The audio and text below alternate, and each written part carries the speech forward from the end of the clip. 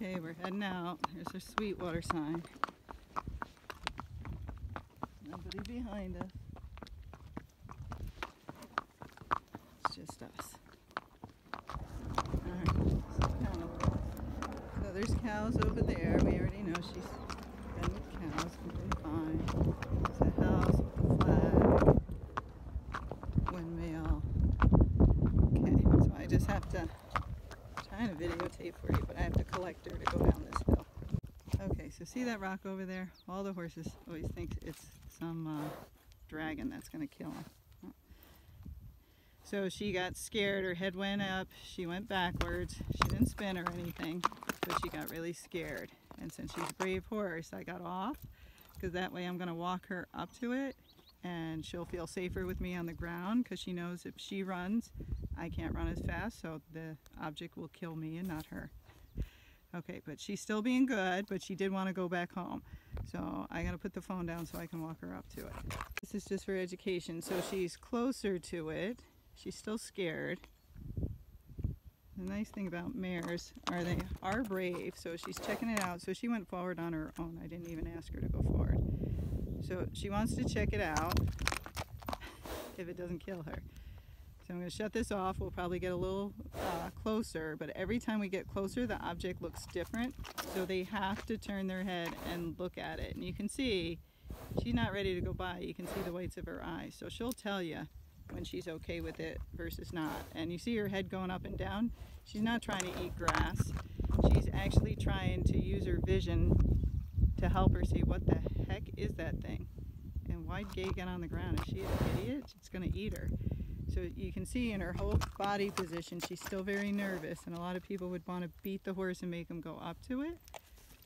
I want her to be curious and brave. So I'm going to let her sit here for a minute, and then I'll let her go closer.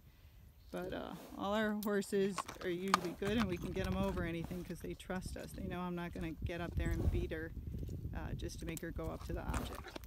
Okay.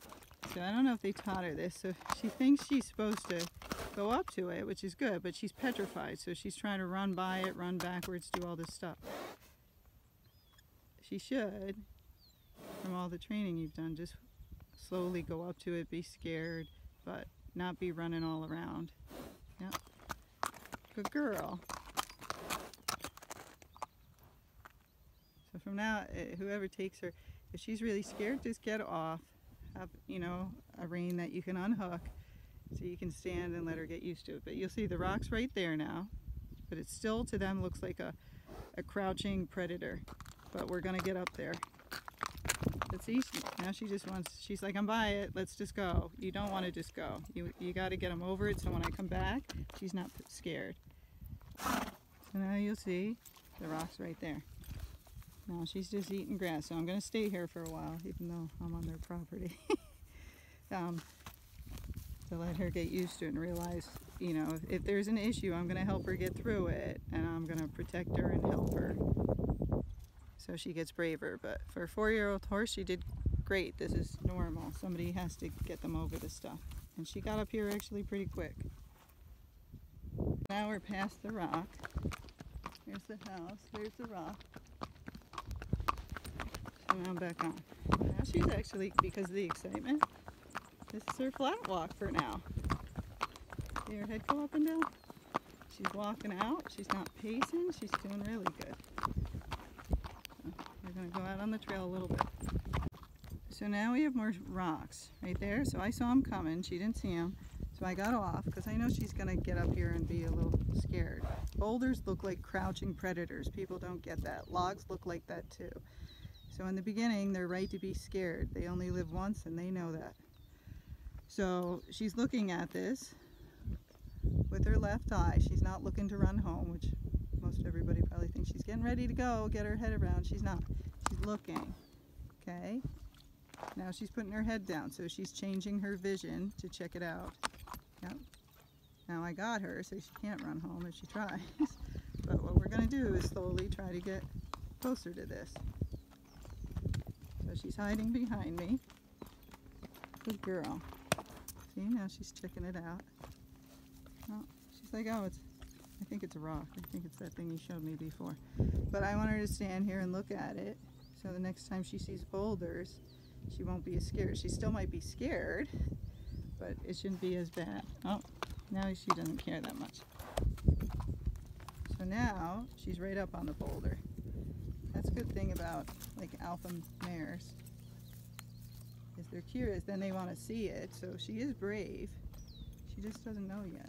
So she's like, hmm, oh, that's just a rock. Boy, was I an idiot. I hope you didn't videotape that. So I'm going to let her look at all the rocks. Each one might be a little bit different. Of course, I'm looking for snakes first. So we got a barbed wire fence, so I'm careful that she's not too close up. I, I got a narrow thing that I got to go through. So she's a baby, and you know, I'm not going to put her at risk because that could really impale us. So I'm going to stay on the ground and walk her through this.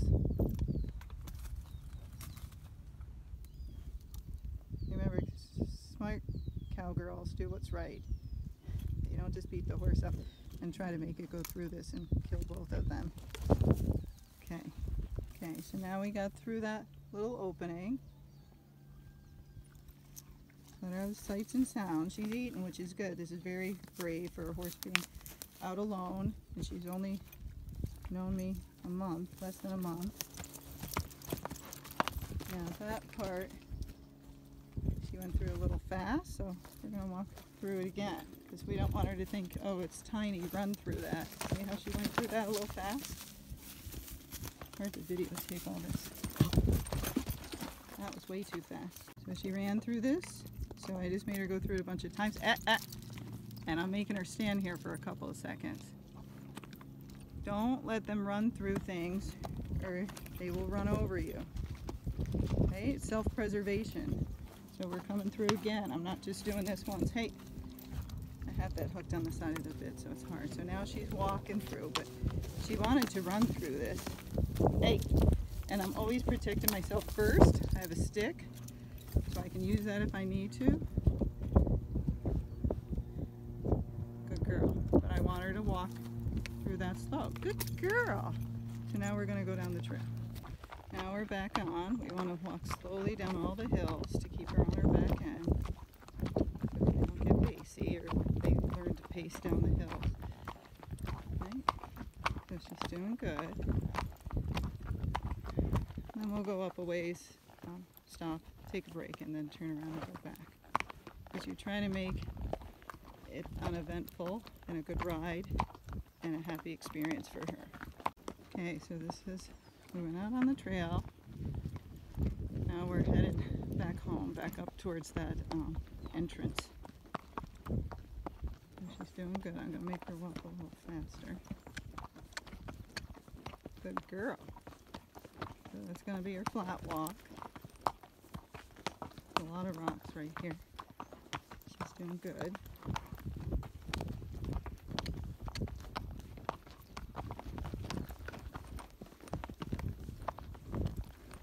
We're just trying to keep the same speed and the same rhythm so she gets to practice her walk.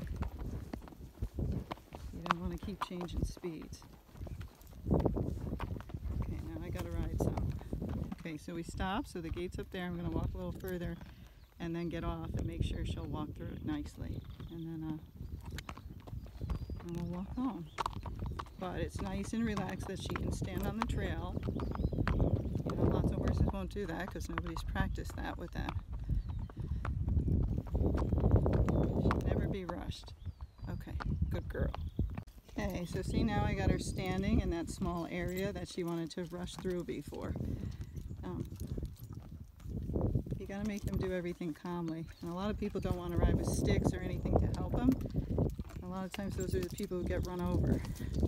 So, you know, if you got to do it 20 times so she slowly steps through there, you do it. If you got to hit her with the stick in the chest to back her off, you do it. Because if you don't, then they learn to run people over and knock them over. And sooner or later, somebody's going to get hurt. Okay, so Swindy, she's fine. Sorry, my flat bike can only do so much with this phone. We're heading back up towards that um, rock. The flag's flapping. She doesn't care. If we get up there and she gets real scared of that rock, I'm going to get off and walk her by it again. It's not a big deal. But if I did a decent job, she might just walk by. I'm gonna put the phone down because I have to be safe first and then we'll see what happens. Remember when you go on the trail backwards and it looks different to you and you get lost even though you went the other way and we're fine? Well, same thing. Everything looks different to this horse. Now we're going a different direction and that's why I tried to walk her by it a couple of times. So she's calmly looking at that rock.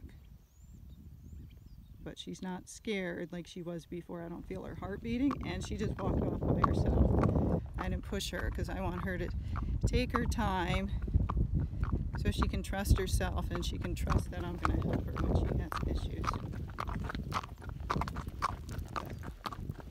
Now she's getting a little antsier.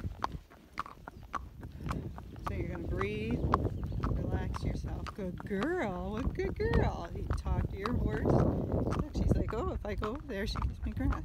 So there's the rock. And there's the horse that was petrified of the rock just walking by it. So I'm going to stop, but she did good. Oh, I like to give cookies. You don't have to, but I'm going to give her a cookie. And we're going to finish walking home. Okay, so now she's stopping to look. There's cows up there. Got those weird bee boxes over here. Now she's not doing anything. You got to read your horse. So are they getting scared? Is their heart beating? Are they snorting? Are they running backwards? Or are they just standing here looking at it? So she's just standing here looking. So now she just walked off. See, I didn't even tell her she chose, like, oh, I'm okay now. You want to stay relaxed on their back, not be videotaping like I'm doing. Have your hands wide and be sitting back so if they do decide to spin and run the other way, you're okay. So again, she went further. Now she's assessing the situation like, is this safe? Are those really cows or are those monsters? Mm -hmm. That's me videotaping. So she's a pretty brave horse. So we're trying not to scare her, let her take her time and just get used to being alone and I'm on her back, not on the ground, and then she's okay. So see, she walked off again. And we're heading home. So she's not barn sour. She's not trying to run home. I don't know if she saw these boxes coming the other way or not, so we'll see if she looks at that.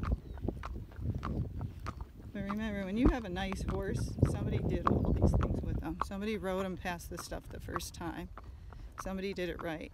When you have a horse that's scared and antsy or it won't go down the trail and you're kicking it and it's bucking and it's rearing, somebody did it wrong.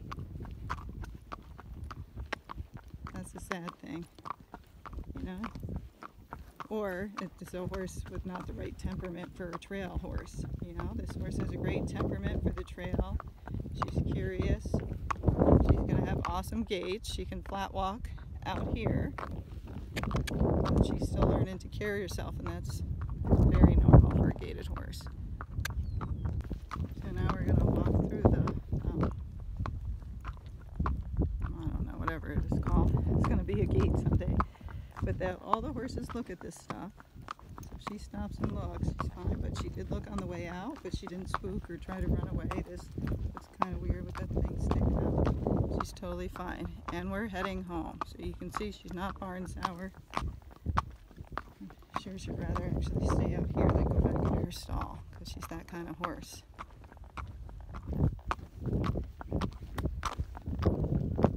Yeah, but for her first ride out to this barn after being at this barn for a month, she did awesome. Okay, so now we're almost back. But this pond scares a lot of the horses. Birds fly out of the bushes or they're diving into that pond. So I loosened the girth here, not back at the barn, because I want her to like being wherever I put her. And we're going to let her eat some grass and just watch what goes on with this pond. So that way she's not nervous about it when things are flying in and out of there.